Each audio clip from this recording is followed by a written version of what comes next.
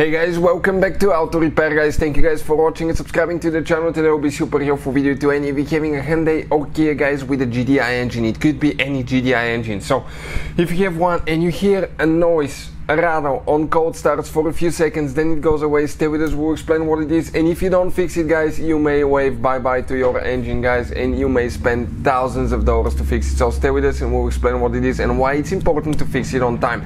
We're demonstrating on a 2.4 GDI engine, but multiple GDI engines will use that design, and we'll talk about that as we go. Before we start, let me just tell you a little bit about us. Every single car we get at the garage, we try to make at least two to 300 free repair videos. Why we do that? Simply because our mission in the shop is to save you as much money as we can. All we need in return, guys, please subscribe to the channel, like the video, that way we can keep making these absolutely free videos for you. If you need to buy any parts, tools, anything for your Hyundai and Kia for a really good price and quick shipping as well, check out the link in the description of the video below. That's where we get them from. So, this is, guys, a GDI engine. So, if it develops a code, okay, so, like a rattle noise on a cold start for a few seconds goes away what can cause that? As you can see that GDI engine and most GDI engines there will be timing chain driven nowadays. Timing chain you have a dual a dual variable timing one on the exhaust camshaft one on the intake camshaft. This is your crankshaft. This right here is your oil pump guys that's driven by timing chain as well. Now the problem with the cold rattle okay that you hear for one two three seconds and it then goes away Oh, and let's say you start the car immediately and it's not there anymore but you let the car sit overnight and the next morning you start it and you hear that rattle again or you park it let it sit for a few hours and you hear that rattle again. What causes that guys? Check out that's the timing chain components here. If you look at that one this is the main timing chain tensioner for the main chain. This is the timing chain tensioner for the oil pump which is just spring loaded because there is nothing here just one little oil pump. But right here you need to have quite a bit of tension on the chain because that crankshaft is actually turning the camshafts which are quite heavy as well. So you have that tensioner guys. That tensioner is hydraulic tensioner. What that means? It means that when you start the car engine oil will build uh, pressure. Okay it will come to here and it will expand the uh, the tensioner. But when you turn the car off, there is a tube, mechanical tube that prevents the tensioner from going back.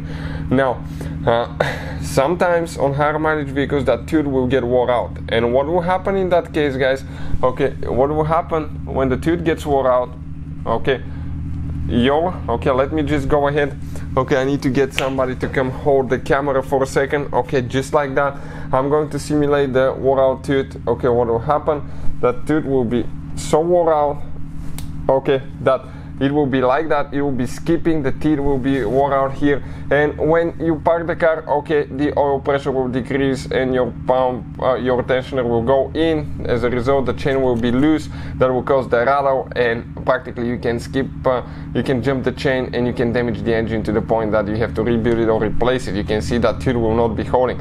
The purpose of that tooth guys okay will be to actually you can see hold like that. Okay you can hear the clicks okay and not to let it come back in uh, but in our case okay you can see it's good but uh, we had one that was just wore out to the point that it wasn't holding good so I'll recommend to replace the tensioner but not just the tensioner you need to replace the whole timing chain assembly in my opinion because most people nowadays think okay timing chain that's a lifetime deal. Yeah lifetime until your engine craps on you guys. So uh, what I recommend, okay, don't trust that uh, stuff. Do your research on BMWs, for instance. Now the timing chain, uh, the tensioner guide fails at about 70, 80,000 miles.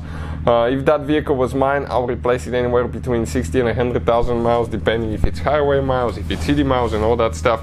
Uh, but the chain, it's thin chain, you can see, they can stretch as well. Uh, and those chains, okay, that chain is actually uh, turning quite heavy camshafts with variable timing sprockets that are heavy as well and that can cause wear to the parts as well. Always replace the timing chain guides as well. The complete video will be on our channel how to replace timing chain on Hyundai Kia 2.4 GDI engine. Check it out. Thank you for watching and see you next time.